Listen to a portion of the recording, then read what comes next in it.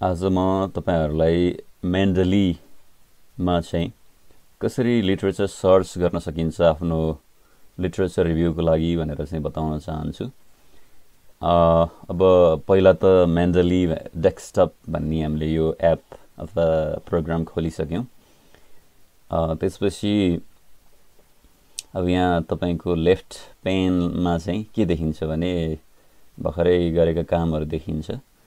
यदि तपाईँ एउटा नयाँ विषयमा लिट्रेचर सर्च गर्दै हुनुहुन्छ भने पहिला त अब फोल्डर क्रिएट गर्नु पऱ्यो फोल्डर क्रिएट गर्नको लागि यहाँ क्रिएट फोल्डर भन्ने यो लेफ्ट प्यानमा पेनमा अप्सन छ। क्रिएट फोल्डर गरौँ त्यसपछि यसको नाम राखौँ। एकचोटि क्लिक गर्ने बित्तिकै यहाँ रिनेम गर्ने अप्सन हामीलाई दिन्छ। फ्लर्टिङ भनेर मैले नाम राखेँ। होइन तल अब बाहिर कतै क्लिक गर्दाखेरि यो फ्लर्टिङ भन्ने यहाँ नयाँ फोल्डर बन्यो। अनि अब लिट्रेचर सर्चको लागि चाहिँ यहाँ एउटा सर्चको चिन्ह छ आइकन छ।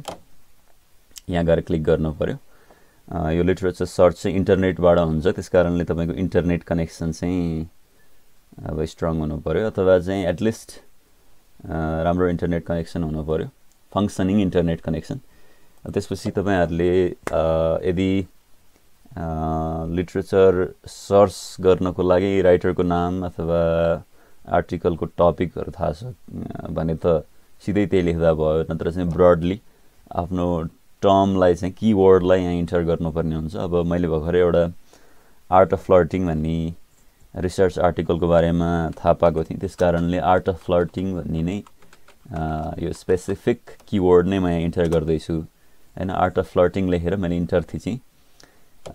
इन्टर कि थिचिसकेपछि चाहिँ यस्तो रिजल्टहरू देखायो।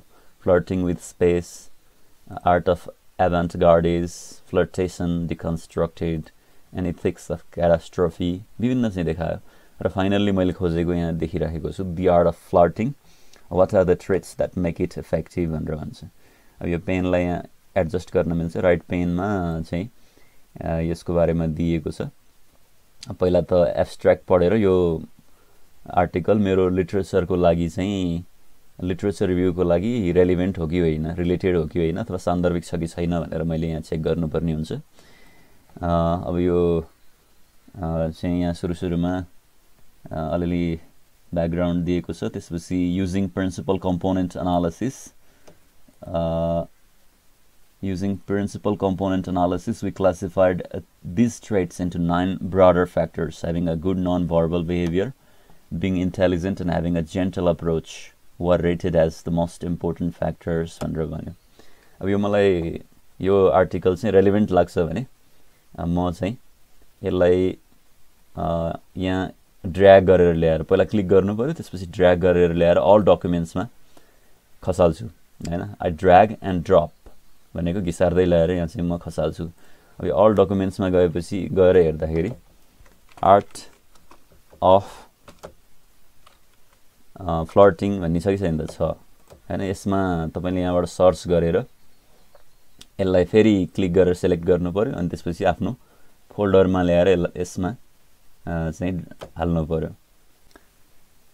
ठिक छ अब आजको लागि यति नै। मैले तपाईँहरूलाई यो मेन्डलीमा लिट्रेचर सर्च कसरी गर्ने भनेर देखाएको छु। अब यो लिट्रेचर सर्चको लागि चाहिँ इन्टरनेटको कनेक्सन तपाईँसँग हुनु पऱ्यो अरू भिडियोहरूमा म